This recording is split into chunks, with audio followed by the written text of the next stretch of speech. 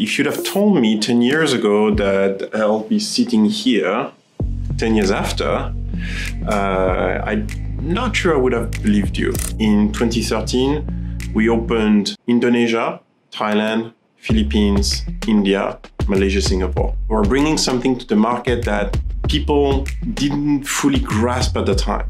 Um, they knew what we needed in the market and they went in first to actually pave the way for a lot of the things um, in the industry. From 2019, we decided to accelerate the growth, design an organization that would be ready to handle that dimension of our operations in the, in the region. I mean, obviously, our goal is to develop the next generation of local artists and local labels thrive. We do think that all of these artists and labels will start resonating first regionally uh, and then much more globally. So we expect uh, a number of artists coming from APAC countries uh, becoming global superstars uh, in the next 10 years. Happy 10 year anniversary. Happy 10 years anniversary. Selamat hari jadian ke-10 untuk Believe. I really wish you uh, the best uh, for the next 10 years.